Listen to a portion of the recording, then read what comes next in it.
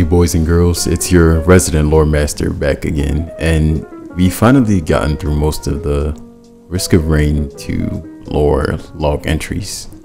So I think it's about time I level up my content and start making longer videos and giving you guys better content to consume. So I might slow down a bit, but the quality of the videos will definitely be going up from here.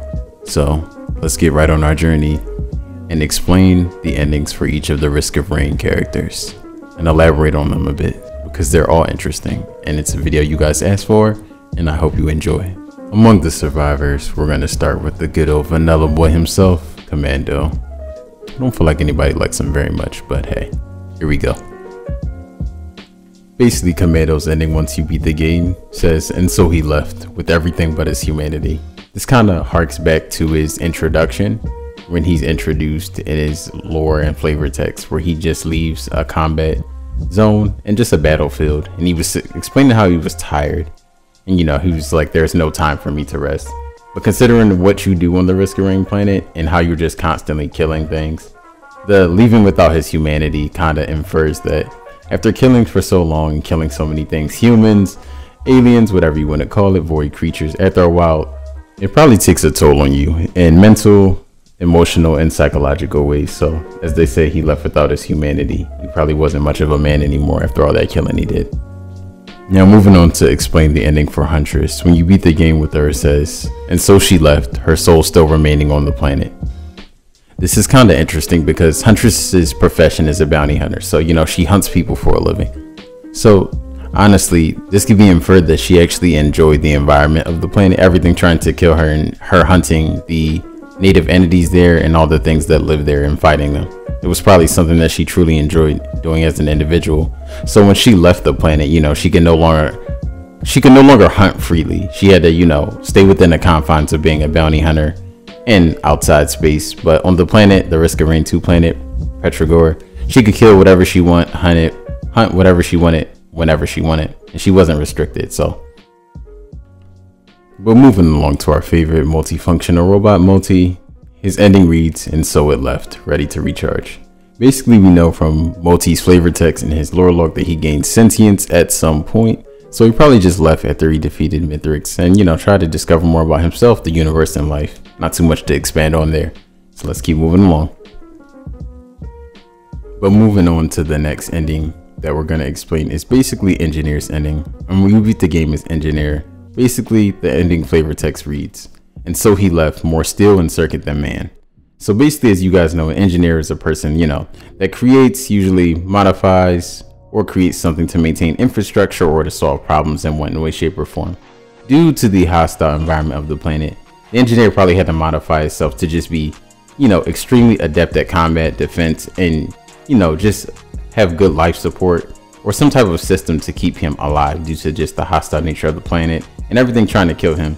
And there was plenty of stuff on the planet that he could use to modify itself, such as the things from the contact light and even the alien technology on the planet. So I kind of like his ending, it's really cool. And moving on to another one of my favorite character endings, where it goes to the artificer or artificer, whatever you guys want to say. I know my English is bad, whatever, who cares? But the artificer. So when you beat the game with her, her flavor text ending reads, and so she left, in love with a new passion, to explore.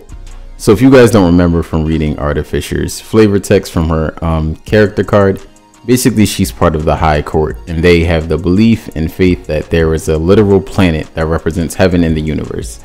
So after coming to Petrichor V, well Petrichor 5 rather, there's plenty of stuff that can literally convince you that there's so much sentient life, magical things, and that would, you know, literally reinforce the belief of someone like her who is a member of the High Court that they're looking for this heaven planet because just so much of the stuff on the Risk of Rain 2 planet confirms magical things, reality bending things, higher levels of entities such as like gods, things like Newt, Mithrix, and also Providence confirms so much for it. So this definitely probably extended, expanded her mind and reinforced the fact of her looking for the heaven planet out there.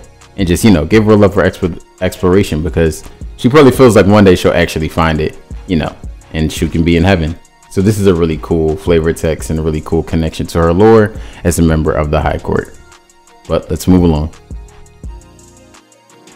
Moving on to our next ending, basically we go to our good old mercenary and his flavor text reads, And so he left with terrible power and shaking hands.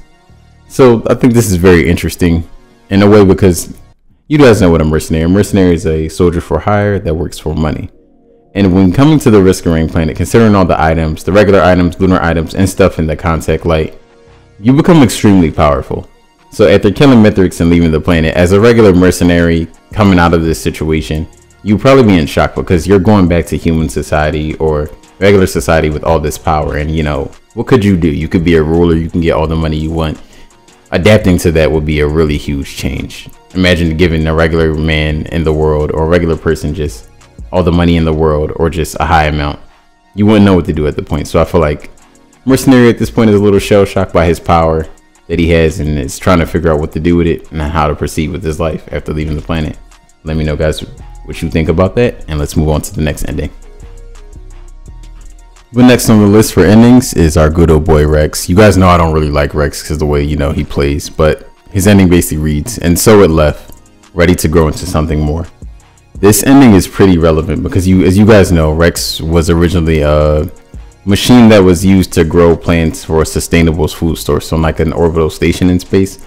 But basically, the plant and the robotic parts of Rex fused together and became sentient. So after, I'm assuming, you know, killing Mithrix and gaining all this power, it probably had the ability to continue to evolve into a higher level of being. So that is probably the next process that will happen to Rex due to it attaining sentience and all that. Who knows what it could become? Who knows if it could evolve to something on the level of Providence and Mithrix or even beyond. So that's a really interesting thought and just piece of lore. Let me know what you guys think about Rex's ending and let's keep going.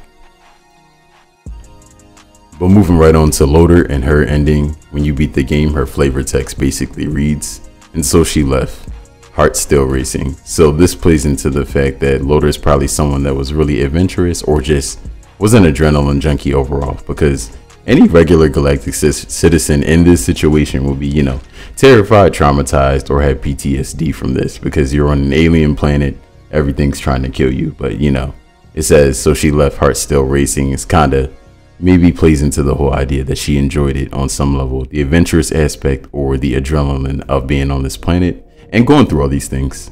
But that's my take. Let me know what you guys think. But moving on to the next character, it's probably a cult classic character. I feel like everybody likes Captain in one way, shape, or form for one reason or the other. But when you beat the game with Captain, his flavor text basically reads, And so he left with a new tale to tell. I think this plays into the fact that Captain is a veteran explorer or military officer and has survived many things. He has prosthetics, which means he lost some of his limbs, and some of the adventures he probably had were extremely dangerous traumatizing or definitely worth mentioning. So, you know, this adds another one to his tally, which just shows he's going to keep going and not stop all of his adventuring and his space travel, which is really cool. He just seems like that old grizzled veteran that you want on your side. Well, let me know what you guys think or feel about his ending, and let's move on to the next one.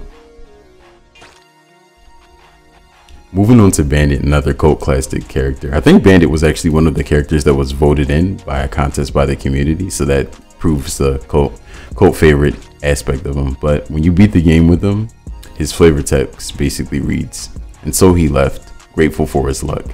Originally, Bandit boarded the contact light to steal the contents of many of the containers, some of the luxury and rare items on there to flip and turn a profit after he escaped. Unfortunately, he ended up on Petrichor 5 fighting for his life. So if you were in that situation and you survived, I would imagine you would definitely be grateful for your luck and think about changing your profession after escaping. But that's Bandit's ending. Let's move on to the final one we have with all the characters up to date in the current version of the game. Before the DLC, of course. And going on to our last character is Kur-skan the Heretic, who's a secret character who you can't really unlock and pick from the select screen. As you guys know, you have to get all her body parts from Lunar Pods or from the Lunar Shop with Mr. Newts because she was sealed for betraying someone, but we'll go into that later. Her ending basically reads, and so they left, bitterly avenged and deeply lost. And there's another ending, I think they changed it after one of the updates. It, uh, it originally said, I think, and so they left, two stories ending as one. This refers, just like this current ending that they have, as they. It refers to you as this because basically you're still the original survivor, whoever you picked, and transformed into Kur-skan with when you got her body parts. So technically you're two characters leaving. So when they say she was bitterly avenged, she avenged Mithrix or Providence, whichever one, whichever one of them ripped her body apart for betraying them in whatever way. So she feels avenged, and after she leaves, she doesn't really know what to do because she wanted to escape the planet. So it's kind of like a bittersweet thing. After you know fusing with another being, after being ripped apart, and you know killed by Mithrix or Providence, you know you don't really know what to do, and that's kind of like just a sad way to go out. It's pretty tragic. Let me know what you guys think. Hopefully we'll be getting back into more videos. I've been like sick and down bad, so I'll stick around. There's too much going on in the world right now. But like, sub, share, and I'll see you guys next time.